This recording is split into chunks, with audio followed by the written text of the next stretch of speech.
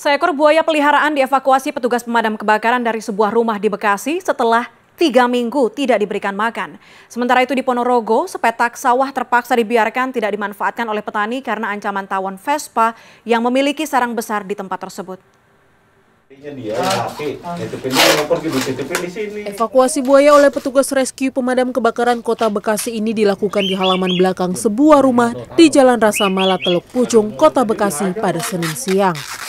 Buaya jenis muara ini sebelumnya dititipkan adik pemilik rumah untuk dipelihara. Namun lantaran tak mengerti cara merawat hewan buas, pemilik rumah justru membiarkan buaya itu selama tiga minggu tanpa diberi makanan. Pemilik rumah kemudian melapor ke petugas pemadam kebakaran karena khawatir atas keselamatan empat anaknya. Petugas berkoordinasi dengan konservasi hewan reptil untuk melindungi buaya ini.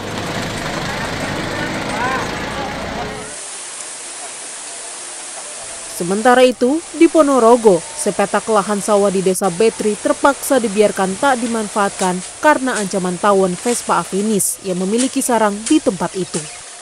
Sarang tawon ini berukuran sangat besar, yakni memiliki diameter hingga 1 meter dan menggantung pada dahan pohon bambu.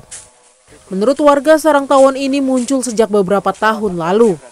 Tawon berukuran besar kerap keluar masuk sarang saat ada orang yang berusaha mendekat.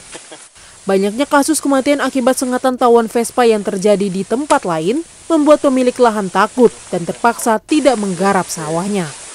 Namun pemilik lahan berencana meminta bantuan untuk memusnahkan sarang ini agar tidak mengganggu warga sekitar.